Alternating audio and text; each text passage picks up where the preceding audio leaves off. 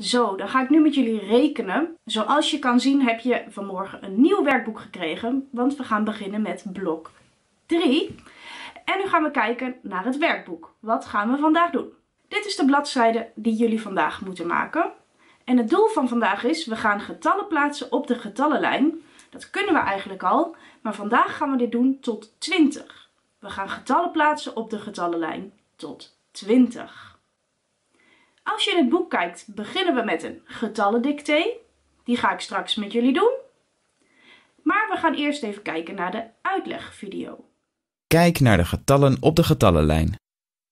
Waar op de getallenlijn hoort het getal 14? 14 is meer dan 10. Tel vanaf 10 verder tot 14. 11 12 13 14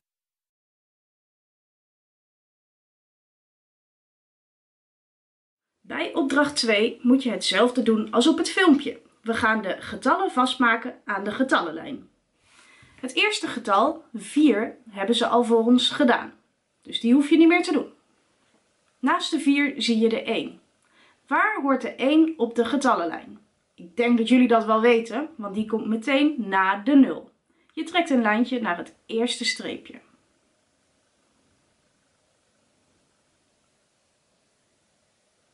Dan zie ik een 6. Waar hoort de 6 op de getallenlijn? Als ik tel 1, 2, 3, 4, 5, 6, dan hoor ik de 6 na de 5. Dus de 6 moet vastgemaakt worden aan het streepje naast de 5, want hij komt na de 5. Op deze manier ga je proberen alle cijfers op de goede plek vast te maken aan de getallenlijn. En dan gaan we samen kijken naar som 3. Som 3 gaat over eierdozen. En daarbij gaat het over volle eierdozen. Een doos die helemaal vol zit, die krijgt een blauwe kleur. Maar soms hou je ook nog losse eieren over. Die worden rood. Dit klinkt een beetje lastig, daarom heb ik twee eierdozen hier liggen. Kijk maar. Ik had zelf niet zoveel gekleurde eieren, dus ik heb het met blokjes gedaan. Hier zie je, in elk hokje van de eierdoos zit een blokje. Dat betekent, de eierdoos is vol. Zullen we meetellen hoeveel blokjes er in deze eierdoos passen? 1, 2, 3, 4, 5, 6, 7, 8, 9, 10. Een volle eierdoos betekent dus 10. Dus 10 eieren passen in een doos. Dat is een volle eierdoos. Maar soms heb je meer dan 10 eieren. Waar laten we die dan? Die stop je in de doos met losse eieren.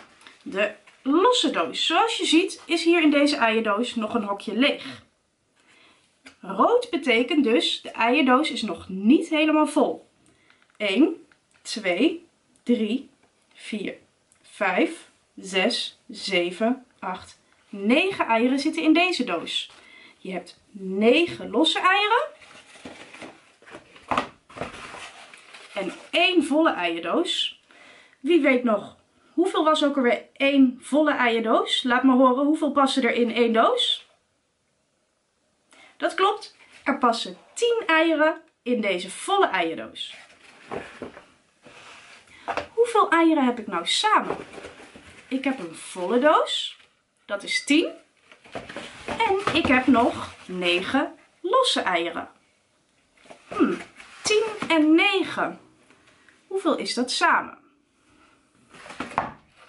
Dit is 10. Gaan we verder tellen. 11, 12, 13, 14, 15, 16, 17, 18, 19 eieren. Een volle eierdoos en 9 losse eieren zijn dus samen 19 eieren. Nu gaan we kijken naar som 3.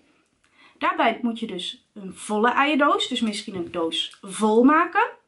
Of alleen maar losse eieren. Nou, de eerste hebben ze al voor ons gedaan. Dat gaat over één ei. Als ik één ei heb, kan ik dan met één ei een hele volle doos maken? Denk het niet, hè? Dus als ik één ei heb, zit er geen één ei in de volle doos. Die gooi ik er allemaal even uit.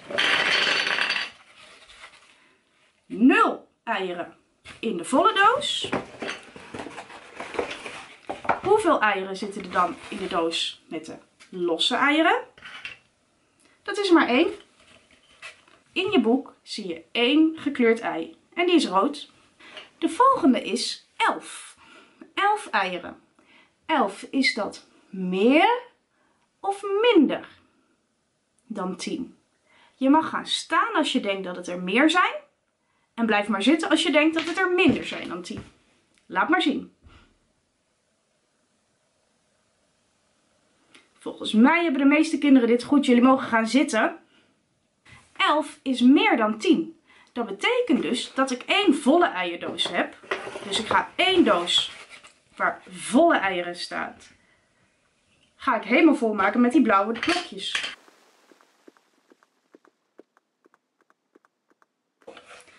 10 eieren. Maar als ik 11 heb, hoeveel moet ik er dan inkleuren in de losse eierdoos? 10.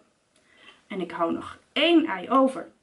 1, 2, 3, 4, 5, 6, 7, 8, 9, 10. En 1 los ei. Dus die wordt rood. Dus ik heb 1 volle eierdoos van 10. En 1 ei in mijn losse eierdoos. volle eierdoos en 1 los ei is samen 11. Datzelfde ga je ook doen bij 14 eieren. Dus je moet eerst nadenken, is 14 meer of minder dan 10? Ga maar staan als je denkt dat het meer is. En je mag blijven zitten als je denkt dat het minder is. Heel goed, jullie mogen gaan zitten. Want het is inderdaad meer dan 10 eieren. Het is dus één volle eierdoos. En jullie mogen bedenken hoeveel eieren worden er rood. Hoeveel losse eieren gaan er in die andere doos? Bij 14. Dus ik heb dus 10 eieren in de volle doos. Hoeveel zijn er nog los? Die ga je rood maken. Bij som 4 ga je ook weer tellen hoeveel eieren zitten er in de doos. Net moest je ze zelf erin tekenen. En nu ga je rekenen hoeveel eieren zitten er in de doos. Ik weet nu dat een volle eierdoos is 10. Dus eigenlijk hoef ik alleen nog maar de losse te tellen. Kijk maar mee. De eerste hebben ze al voor ons gedaan. Dit is een volle eierdoos. De volle eierdoos is 10. En nog twee losse. Dus eigenlijk weet ik, dit is 10, 11, 12. Dat zijn 12 eieren. Dus ik schrijf de 12 gaan we de volgende doen. Ik zie weer een volle eierdoos met 10, 11, 12, 13, 14, 15, 16. Dit zijn samen 16 eieren. Let goed op, want ze maken een grapje met je. Het tweede rijtje, daar zie je de blauwe dozen. Daar zie je bij de eerste doos 10 eieren. Dat betekent er zitten al 10 eieren. Die zitten erin, maar ze hebben het doosje dicht gedaan. Dit betekent de doos is vol. Dit zijn 10 eieren. Maar je moet ze wel metellen. 10, 11, 12, 13, 14, 15, 16, 17. Dit zijn samen 17 eieren. Want je moet de volle doos moet je meetellen. Niet vergeten. Som 5 is eigenlijk hetzelfde als som 2. Je moet de kaartjes vastmaken. Maar nu moet je ze niet vastmaken aan de getallenlijn. Maar zoals je ziet, je moet ze vastmaken aan de kralenketting. Bij som 6 moet je ze weer vastmaken aan de getallenlijn. En op bladzijde 6 van je boek ga je kijken of je die opdrachten zelf kan doen. Dan moeten we nog één ding samen doen en dat is het getallendicté. Daarom mag je nu je boek en je potlood pakken. Zoek snel bladzijde 4 op. Doe ik ondertussen nog even een filmpje over de kralenketting. En dan gaan we daarna beginnen met het dicté. Hoeveel kralen tel je? Bij 0 staan geen kralen. Bij 1 tel je één kraal.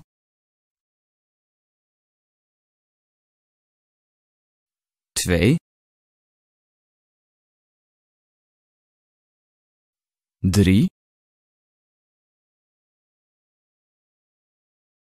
Vier. Vijf. Zes. Zeven.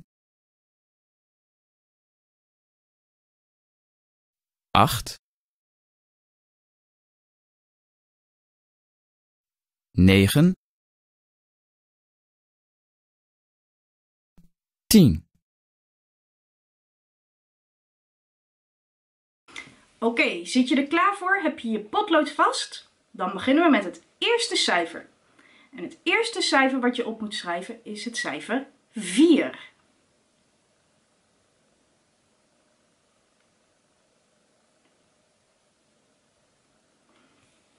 Onder het cijfer 4 schrijf je het cijfer 5. Dus je schrijft het cijfer 5. Die schrijf je hier. Onder de 5 schrijf je de 10. De 10 schrijf je hier.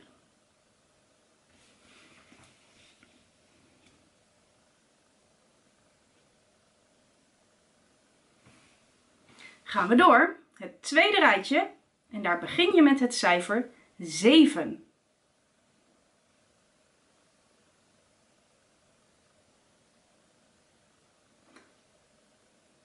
Onder de 7 schrijf je de 8.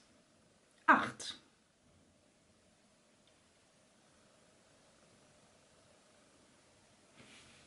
Gaan we door. De laatste van het tweede rijtje is het cijfer 3. Jullie zitten in groep 3.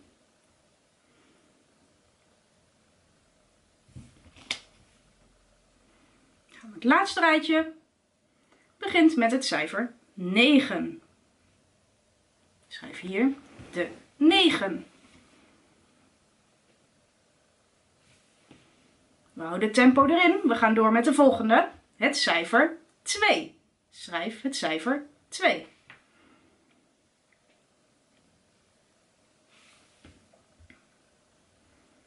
Doen we als laatste het cijfer 6. Hopelijk ging het een beetje goed. We gaan nog even samen kijken hoe moet je ook alweer de 8 schrijven.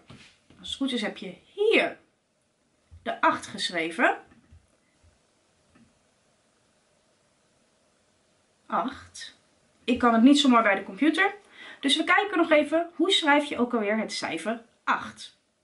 Als het filmpje van de 8 klaar is, mag je verder gaan in je boek. Je mag bladzijden 4, 5 en 6 gaan maken. Ik denk dat jullie dat met het stoplicht op rood moeten doen. Dus begin heel stil, want je hebt je spullen al gepakt. Dus je kan lekker meteen aan de slag. Maar eerst kijken we nog even naar het cijfer 8. Veel succes! Zo schrijf je de 8. Bocht naar rechts. Schuin omhoog. Bocht naar rechts.